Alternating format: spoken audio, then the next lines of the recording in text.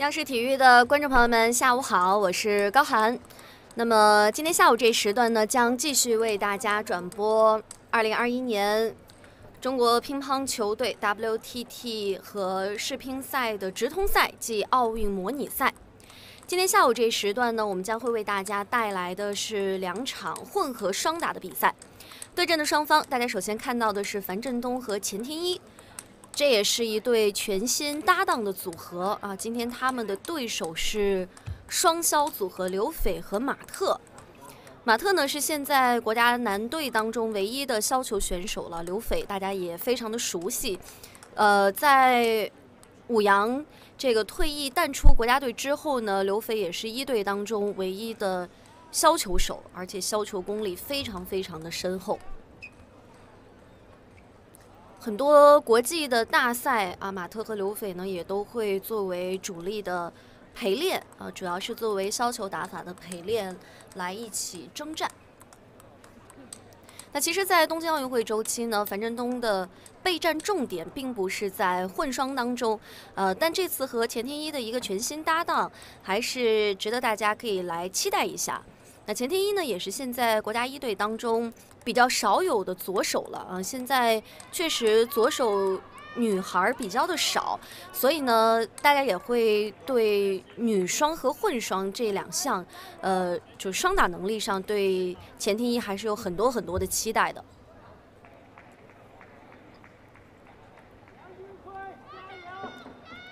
那么这一次在混合双打的项目当中呢，一共是有十六对选手，呃，这其中有我们的奥运选手新闻组合，啊，许昕、刘诗雯这一次也会联袂征战。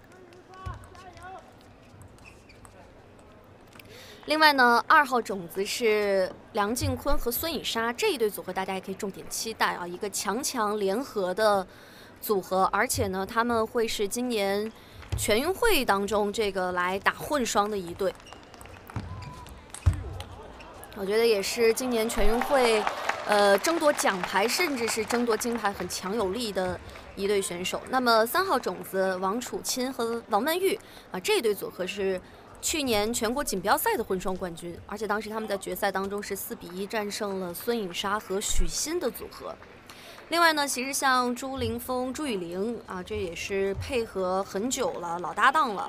呃，包括徐胜浩和王艺迪都是属于实力非常强的。呃，周启豪、顾玉婷、周雨和陈幸同，其实这几对呢，也都是实力不俗。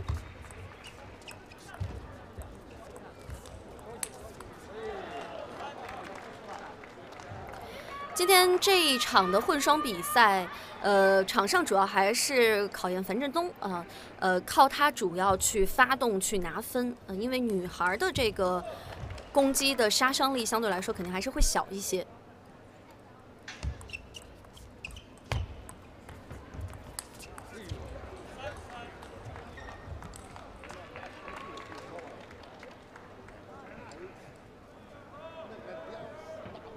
今天马特和刘斐这一队的场外指导是刘恒。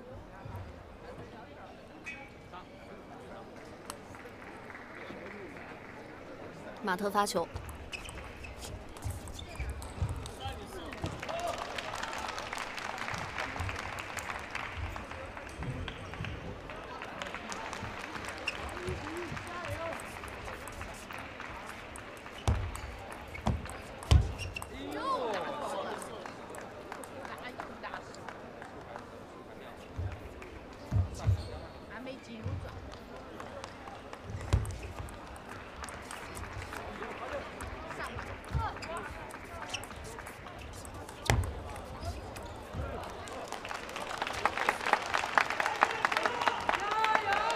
钱天一和樊振东这边的场外指导呢，是樊振东的主管教练王浩。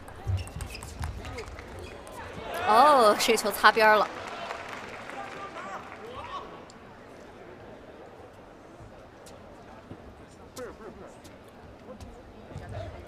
我相信，对于樊振东来说，他一定也是非常渴望这一场比赛啊，因为在去年年底接连是缺席了 WTT 的澳门站。呃，还有，呃，乒超联赛，所以对他来说，其实也有很长一段时间没有再出现在这种强对抗的高质量的比赛当中，呃，全运会的预赛他是搭档林高远，只有一场球打这个男双，所以这一次的模拟赛呢，尤其是在单打上，对他来说还是一个很好的调动。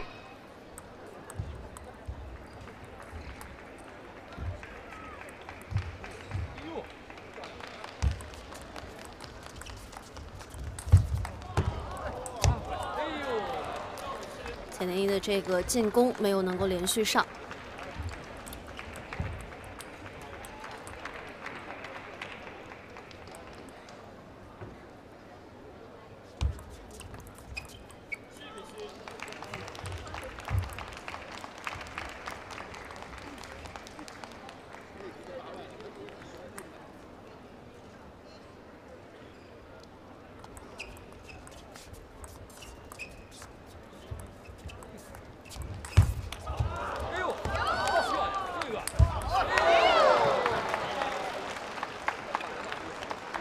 第一局上来啊，对对手的这个旋转啊，还是有一些估计不足，嗯，出现了一些失误。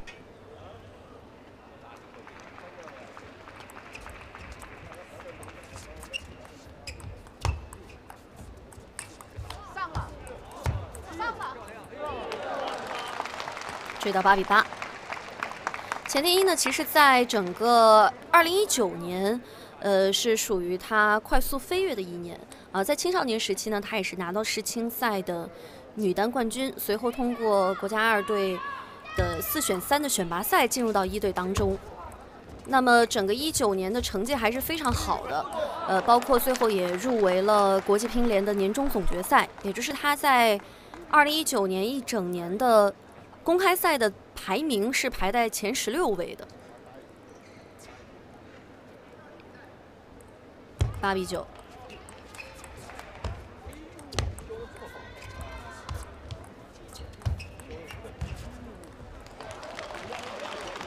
追到了九比九。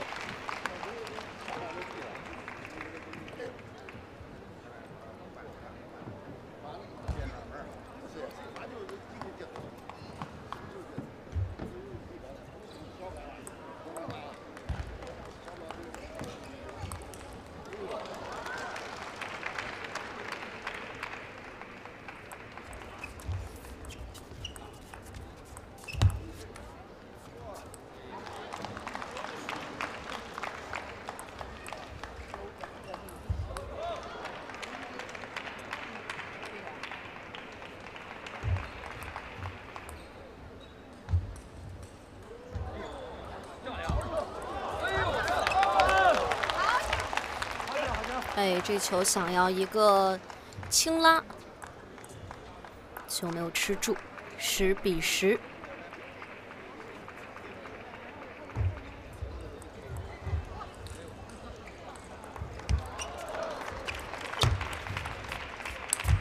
漂亮，再掉一板，冲出去，哇，好球！这分还是。能够显示出钱天一的能力啊！马特的一个在中远台兜了一板，钱天一侧身一个反拉，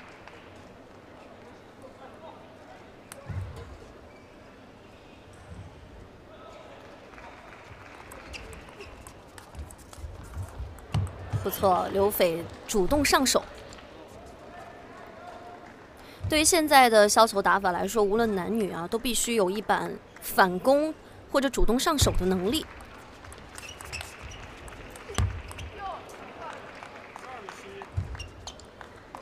还是对这个转不转的旋转判断不清。马德和刘斐十二比一，反超一分。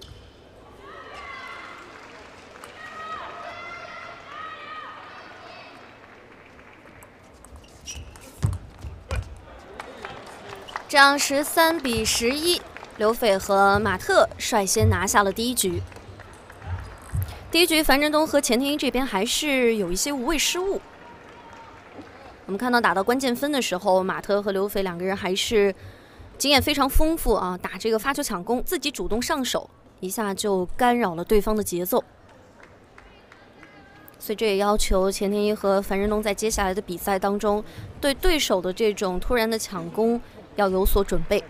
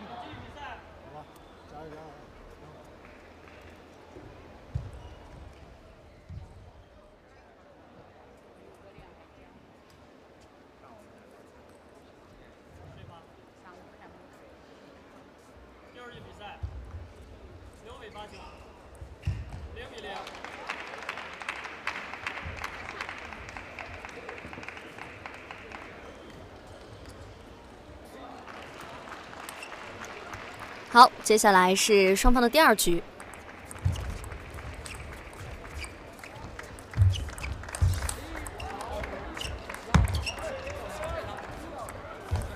这球看到刘斐的站位，轻吊一板，漂亮。打消球出手的时机很关键。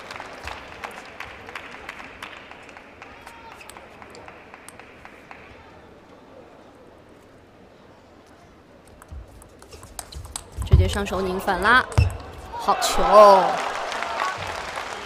钱天一的这种打法特点还是在于他的速度优势啊，尤其是他的反手特别的好。有作为左手选手来说呢，反手撕出很大的角度啊，有线路上的优势。正手的杀伤力稍微要低一些。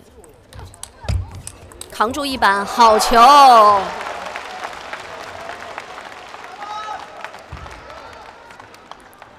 两个人的第二局一上来，这几分打的还是相当的精彩。这个轮次其实钱天一和樊振东呢会更占优一些啊，因为在对位上，呃，刘斐是要去接樊振东的球，呃，女孩去削这个男选手的球还是比较难的。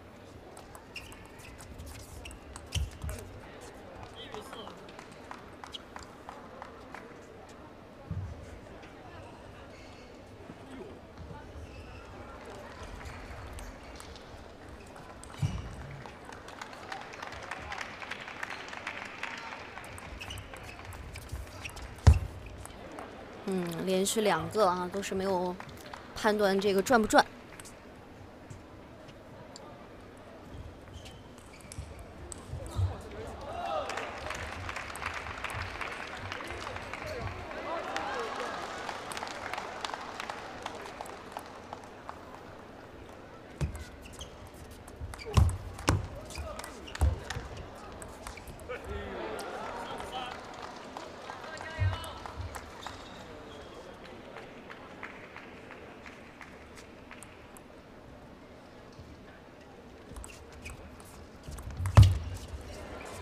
正手连续的出现失误，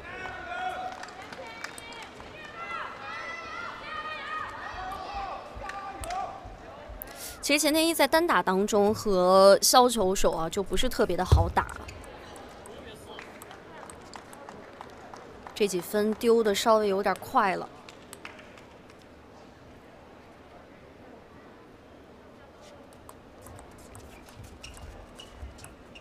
一个轻拉。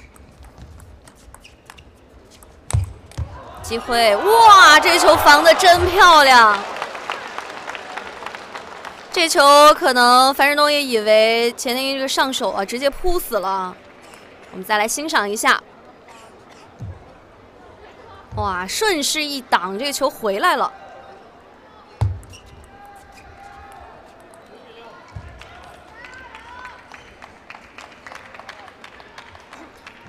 所以在双打当中啊，一定要再多准备一板。嗯，球摆的太高了啊，马特反手直接上手了。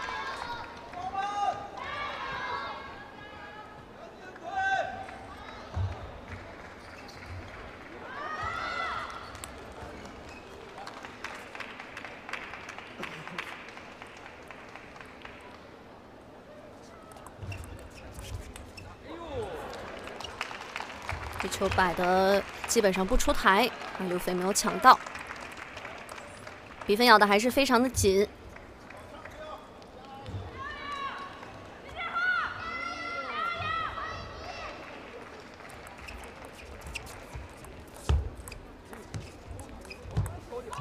拉两个大脚，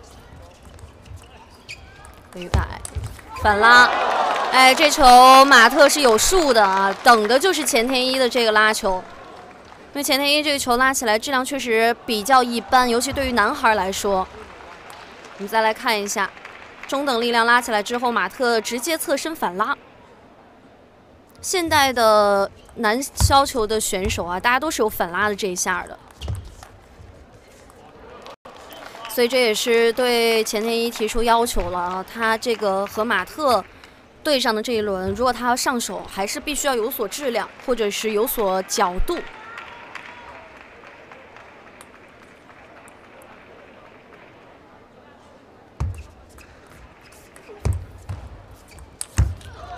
漂亮，侧身的一板爆冲，追到八比八。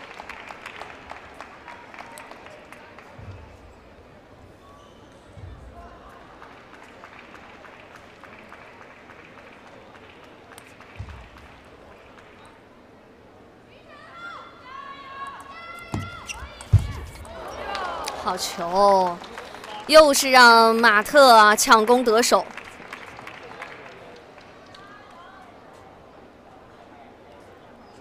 到关键分的时候，马特和刘斐经验非常的丰富啊，很敢于上手。他们并不是所有的球都上手啊，都是在这种关键分的时候很好用。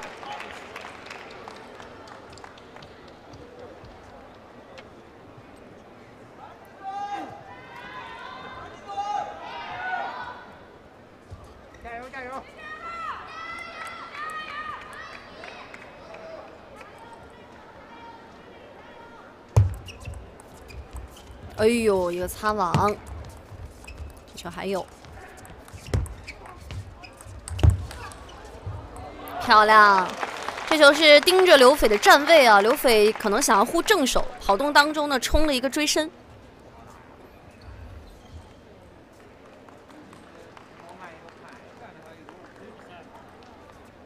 这一分还是挺关键的，输掉的话零比二就不太好追了。哇，好球！刘斐很果断啊，直接上手。而且削球选手呢，他们的主动进攻一般都是很有数的啊，只要上手，基本上就奔着得分去。反手生交，直接弹了一板，这样刘斐和马特再胜一局，二比零领先。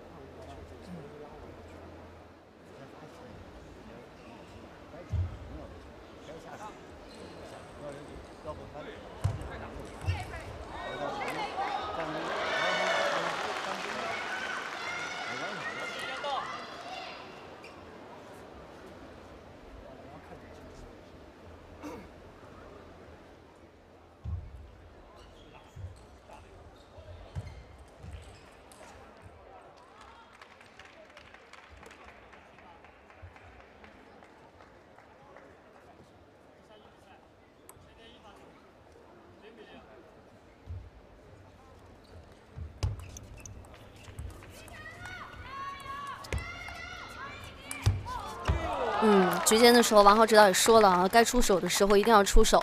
樊振东这边呢，还是要更加强上手的质量，要给对手施加压力。主要担任两个人当中的这个火力输出。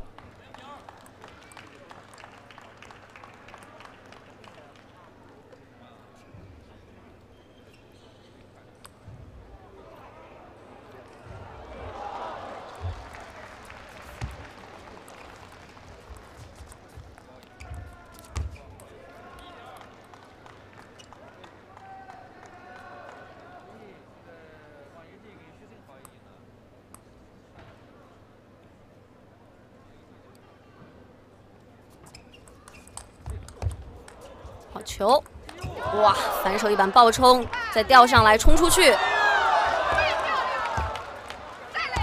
哎，想要轻拉啊，没有拉上。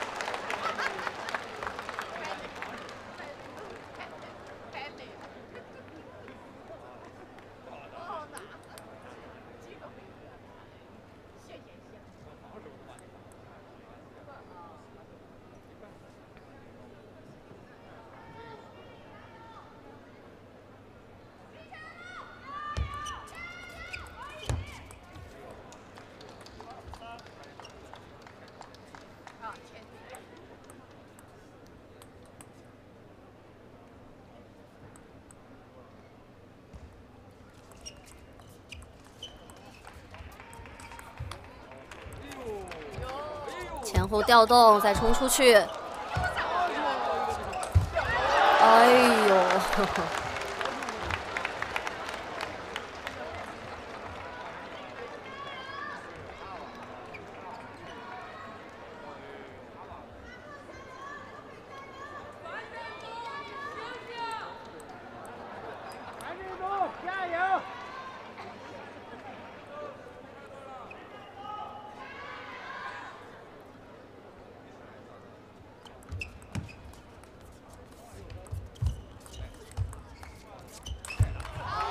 哇，漂亮！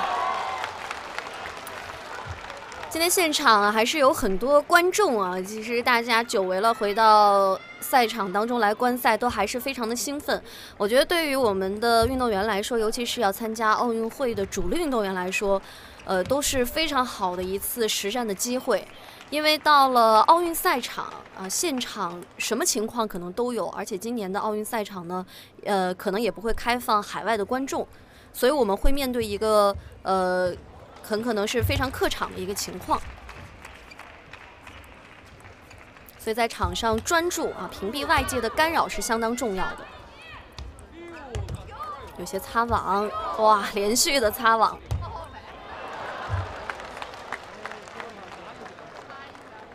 这时候出手有一点紧了。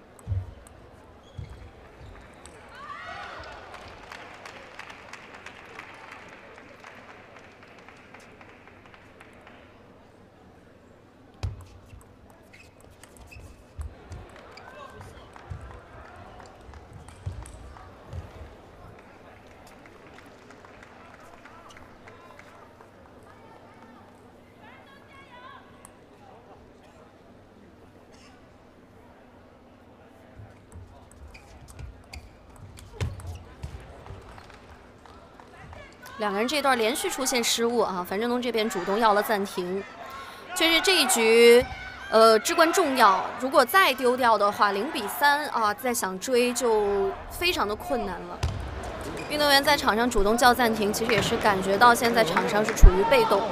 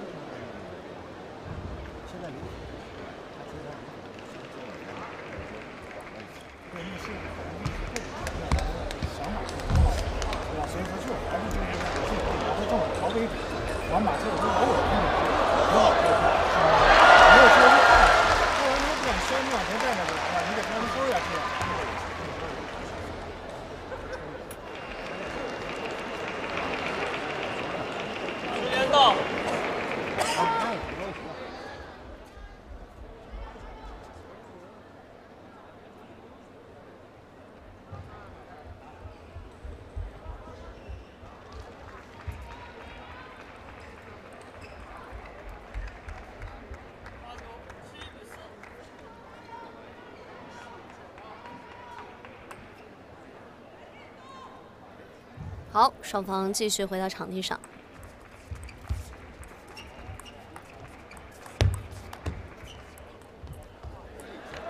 这球削的非常的逼近底线，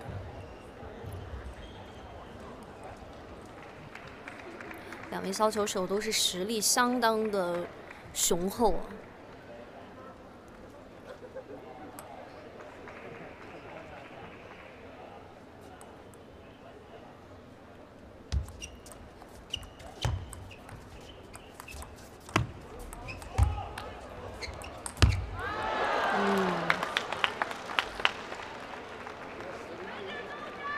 在连续的丢分，九比四。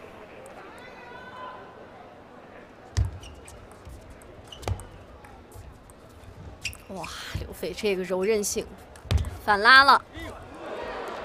我个人其实是非常爱看刘斐的比赛啊，有的时候他在比赛当中真的是很多你觉得都难到极点的球了，他还是能够再救回来，再削回去。会觉得他的比赛呢，这种让这种打法显得特别的有韧性。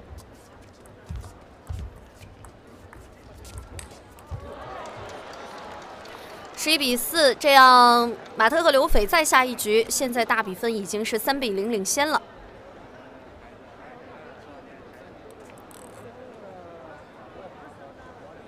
对钱天一和樊振东这对组合来说，现在也没有任何的退路了哈。这个局间相当的关键，看看还能不能够有一些什么办法。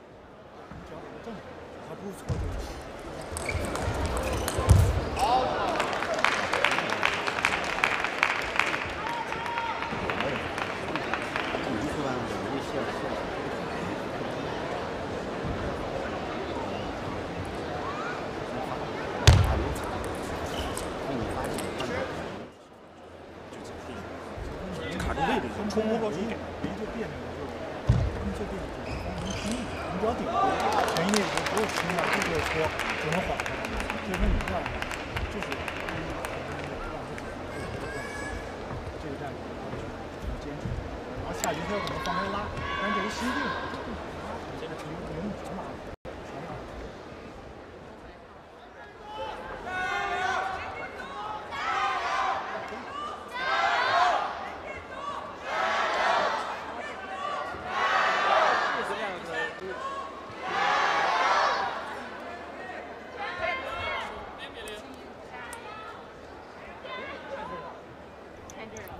好，接下来是双方的第四局。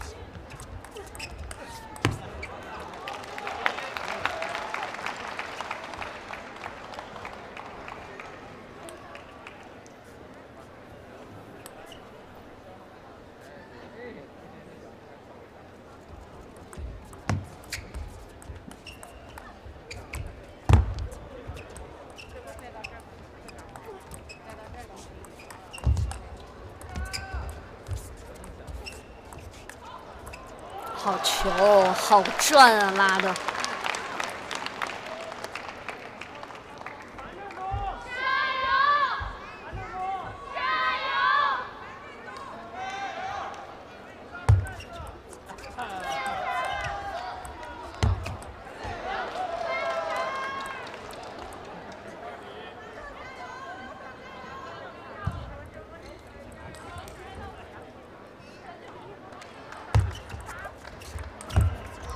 漂亮，啊，这个时候两个人还是有这种战术的变化啊。钱天一直接发长的，然后樊振东抢攻。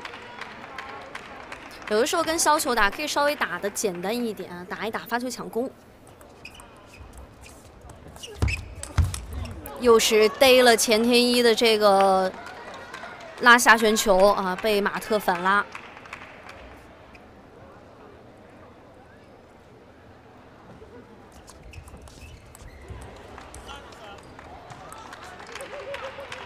手还是需要严谨一点。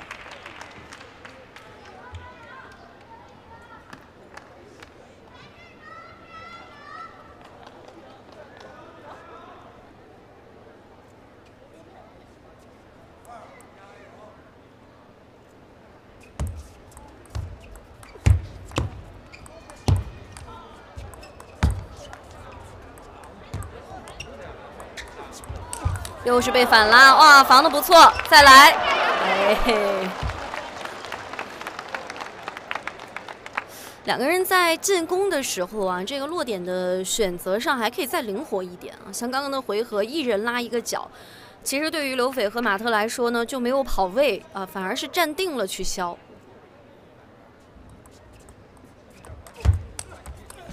哇，漂亮！现在马特的反拉非常的自信。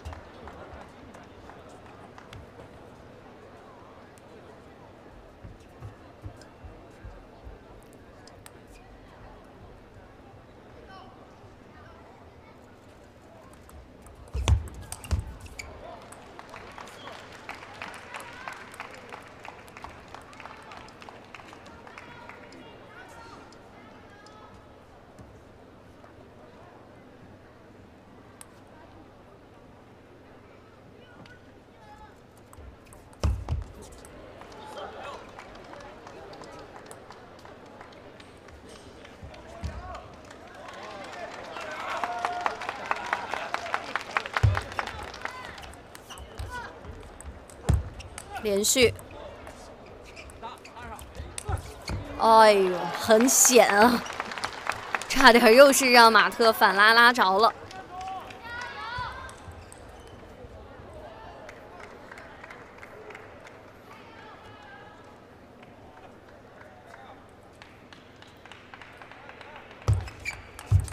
是直接开长球啊！这个球马特有准备了。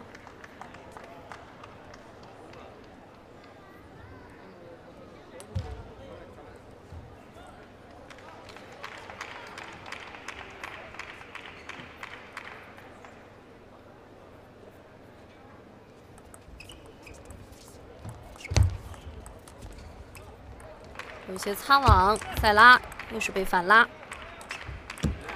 哎，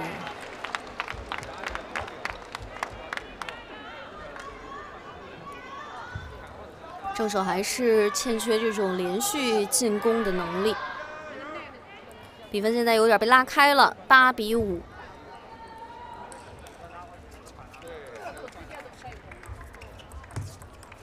嗯，轻轻磕了一下。是反拉，九比五。现在已经完全进入到马特发挥的节奏当中了。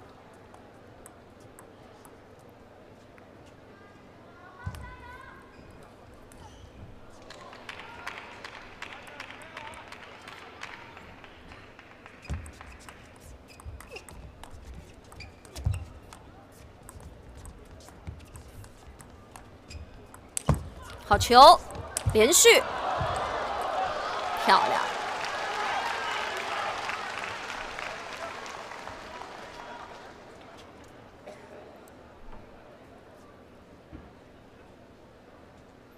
樊振东和钱天一这边追回一分。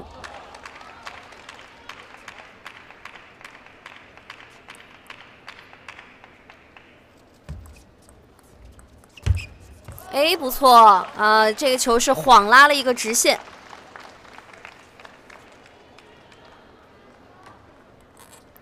特和刘斐这边要暂停了，嗯，从九比五领先被追到了九比七，他们是非常谨慎的啊，希望能够尽快的拿下比赛。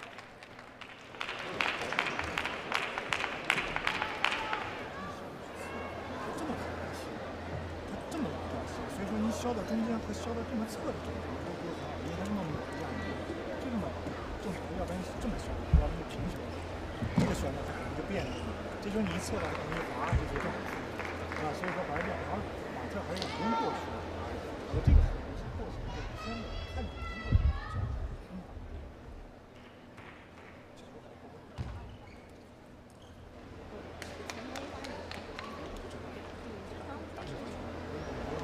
现在就是说正常的，千万别用老猛了，或老猛太猛，就怕就中间，这时候这时候该猛的心态稍微放开一点，所以说你要你在空中，尤其这削成一球的位置，还是想控制，啊，往往是然后削的时候这样，如果要削侧的，巨侧，削侧的，然后削成巨侧的时候，扛一下，扛一下，扛完之后一定要有准。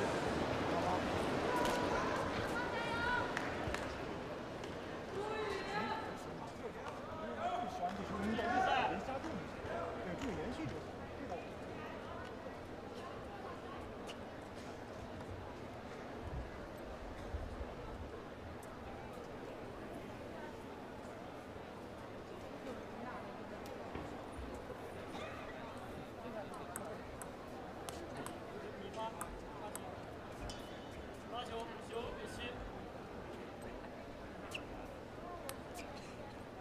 好，双方又重新回到比赛当中。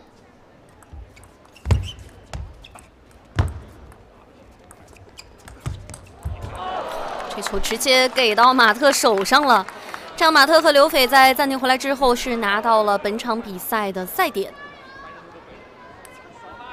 这局其实钱天一和樊振东最好的机会啊，还是在第二局，第二局没有拿下就有点可惜了。看看还有没有机会，还差两分，对方的两个赛点。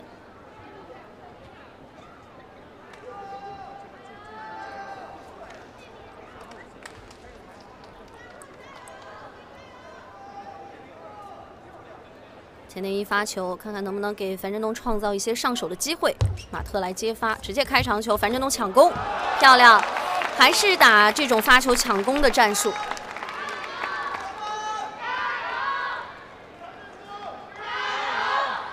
看看接下来这一分是不是还要采取这个战术？马特怎么应对？一板爆冲，连续再顶，哇，这球还有！哎呦，拉空了！这样，马特和刘斐是四比零战胜了樊振东和钱天一的组合，那么他们也进入到本次混双比赛的八强当中。好，我们也稍事休息，稍后为大家带来的将是新闻组合许昕和刘诗雯的比赛，稍后见。